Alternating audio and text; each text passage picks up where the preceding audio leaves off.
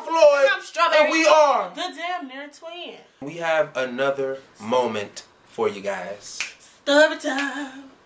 It's story time. It's story time. It's story time. It's story time. When I first met Straw, I told her everything, you know what I'm saying? I told her about my life. I told her I ate a little ass. I do what I do.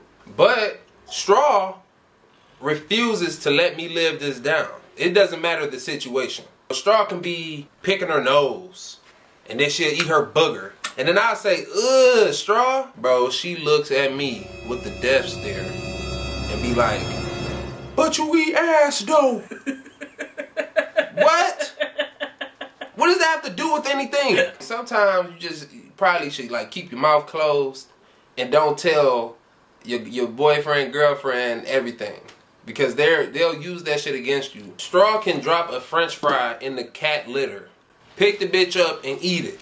If I say ugh, she gonna say, but you eat ass go. you have no room to say nothing. You eat ass. But you just ate like a shitty fry. A cat shitty fry. Like, but it don't matter, bro. She know I'm allergic to onions. She know I'm allergic to shrimp. If it's some food that got onions in it, I'm not eating it. But here she go, walking in and shit. you can't eat no onions, but you eat ass? How you sound like? You sound like a dumbass nigga. You can eat ass, but you cannot eat onions. Tell me what that makes sense. Please tell me.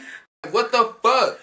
If I don't want to eat no onions, I ain't gotta eat onions. But you wanted to eat ass though, huh? But you wanted to eat some ass. Bet. Matter of fact, matter of fact, come eat my ass right now.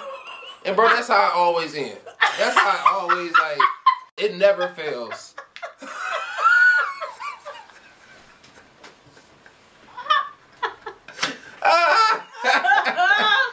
Oh my goodness! You funny as fuck. You really funny. You right, funny. You yeah. funny. You funny. Thanks, thanks, You thanks.